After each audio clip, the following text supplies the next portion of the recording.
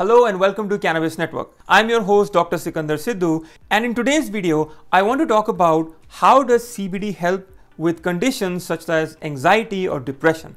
Please forgive me if in these videos I'm not using highly scientific terms because I want to break down this information in its most primitive and in its most black and white format so that more and more of our viewers can understand these concepts of how CBD interacts inside of our body.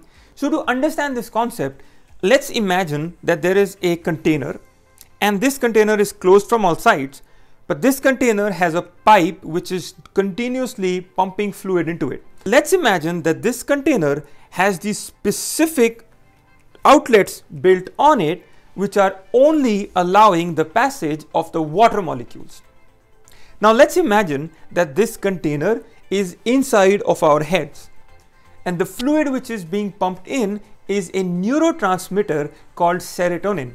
This neurotransmitter is also sometimes commonly referred to as the happy neurotransmitter. The reason behind it is because if we were to examine patients with conditions such as depression, anxiety, sleeplessness, we would often observe that the levels of serotonin inside of their brains were lower than the ordinary levels. So then how does modern medicine tackle this issue?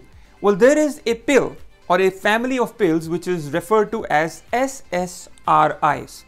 The full form is selective serotonin reuptake inhibitor. Now, if this brain chamber inside of our brain has continuous flow of serotonin, let's say that this flow of serotonin somehow goes down, but the pump out of serotonin is at the same level. Now, we're going to have a deficiency of serotonin inside of this chamber. So if there was a way to block these pumps from pumping out serotonin, we could perhaps increase the level of serotonin inside of this chamber. That's exactly what this pill serotonin reuptake inhibitor does. It will go to this uh, pump and it is going to attach itself to it. Therefore, it will block this pump from pumping out any of the serotonin outside of this chamber, whereas the pumping into this chamber will continue, thereby it will increase the level of serotonin. So if you've heard of this pill referred to as the happy pill, it's because of this reason. CBD does the exact same thing. It goes and it blocks the exact same pump Therefore, it is important for us to understand that those patients who are taking CBD products for these conditions need to maintain a level of serotonin in their brain. In order for this chamber to continue to have that balance, you have to maintain a particular level of CBD in your body.